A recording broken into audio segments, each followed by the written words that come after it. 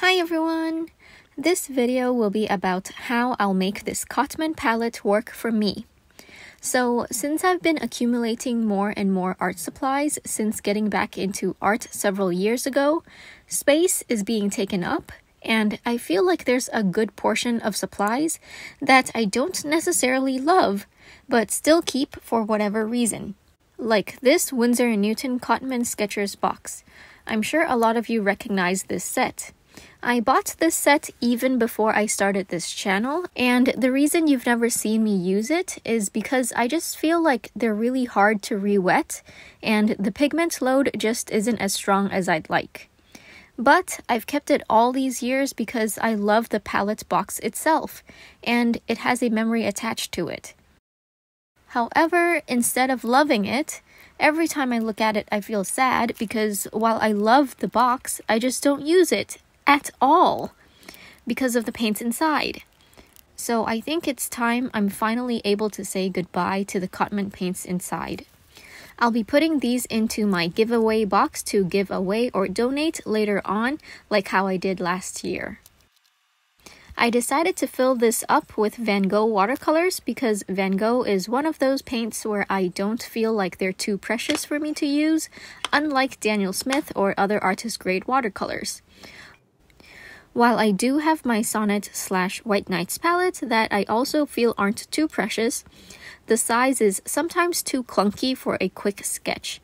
Since I already have a good selection of Van Gogh watercolors and also know what my most used colors are, it wasn't too difficult to pick just 12.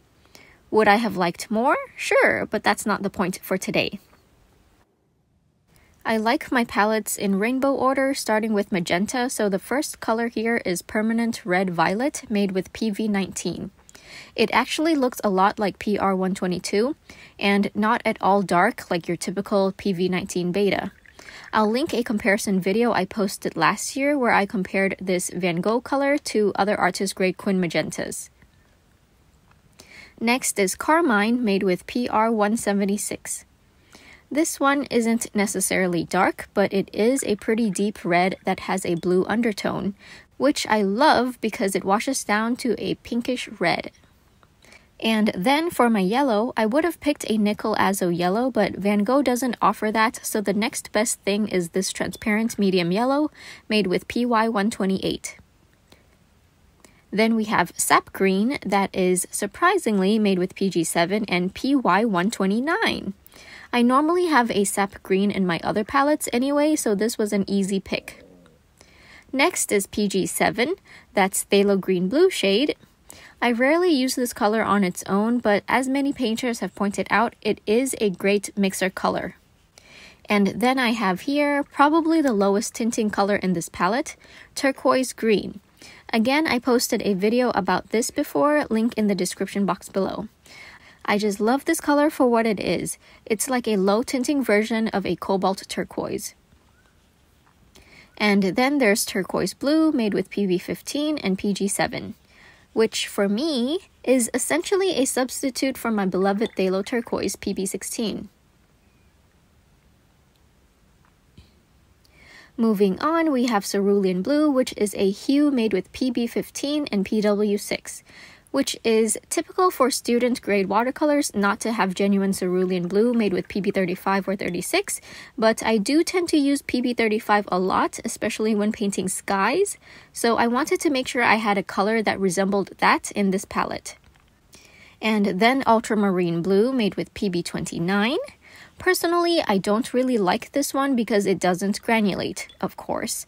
I've seen some people say though that theirs does granulate, so I wonder if it's maybe a difference between which lot you get, like, you know, how um, paints are being manufactured lot by lot. So, yeah, who knows? All right, we're on to the last three. This here is raw sienna made with PY42.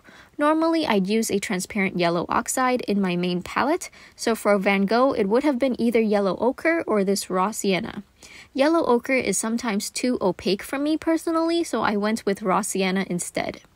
Here's light oxide red, PR101.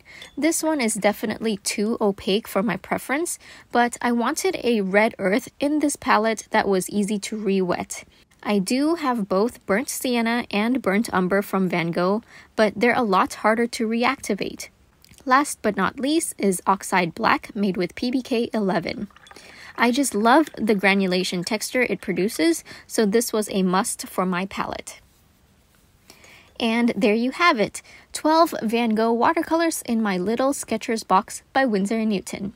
This is definitely a palette I could see myself grabbing and actually using guilt free without thinking about whether I'd be wasting precious artist grade paints or not. So, what do you guys think? Do you like what I've done here?